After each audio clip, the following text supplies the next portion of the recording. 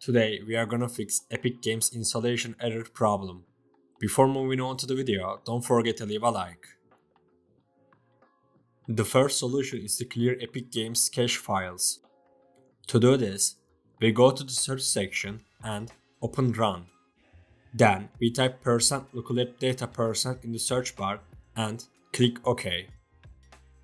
After doing this, we clear Epic Games cache files. Before opening Epic Games again, we need to restart our computer. This step is important, so make sure to restart your computer. After restarting, you can check if the problem is solved or not. The second solution is to uninstall Epic Games and reinstall it. But before doing this, we will backup our games. If we don't do this, we will also delete our games. To backup our games, we open Epic Games. Then, we click on Library. We click on the three dots next to any game we have downloaded and click on Manage. Then, we click on Open Install Location. Here, we see the games we have downloaded. We select them by holding down the Control key and cut the game files by pressing the X key.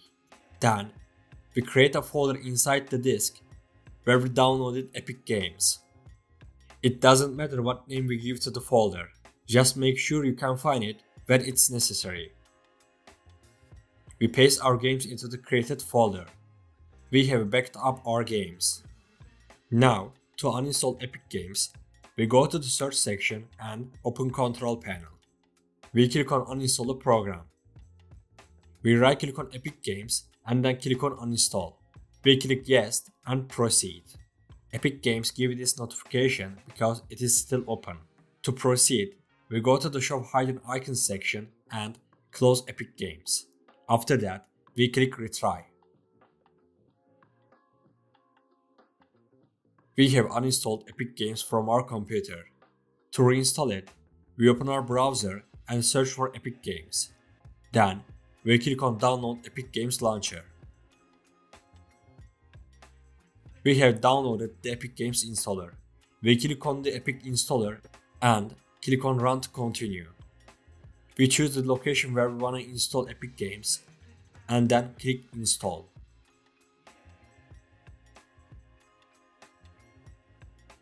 We have installed Epic Games. After logging into your account, you can check if the problem is solved or not. Also, if you want to re-add the games you backed up to your library, it's quite simple. I won't show it in the video to keep it short, but Epic Games has a great guide on their website on how to do it. There will be a link in the description. You can visit Epic Games' website from there. We have come to the end of the video.